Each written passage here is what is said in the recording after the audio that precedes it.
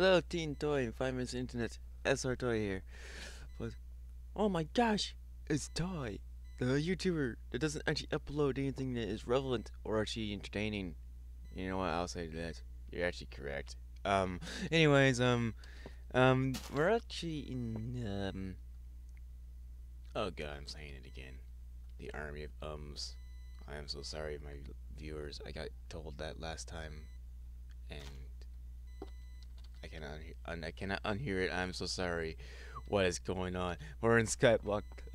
Just to give you a little update what's going on here. I am Slayer level 6 and everything. I have lowered my health.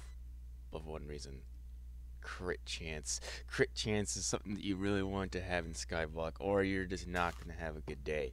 Also, I did update my stats a lot, but um, in reality, we're running out of things to do in Skyblock. Also, I have a legendary Bee pet.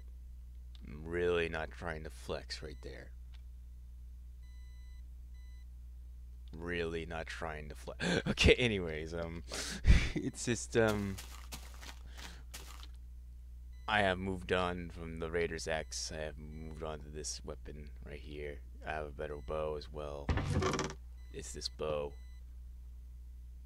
Because why not? I'm also now becoming the more dragon hunter the, of my island. But other than that, Team Toy, Skyblock. I am combat 25 now.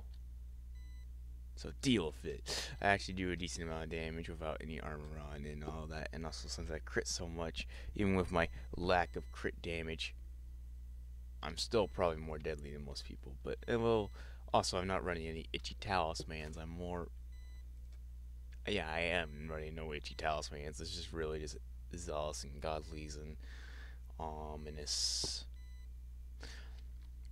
But you know what, um, Team Void, that's pretty much it. And also, the the beat pet's actually really overpowered, um, because he heals you for, he gives you 12% at this level. That's only at 36. I'm horrified to find out what 100 would be. Oh, just kidding, I know what that is.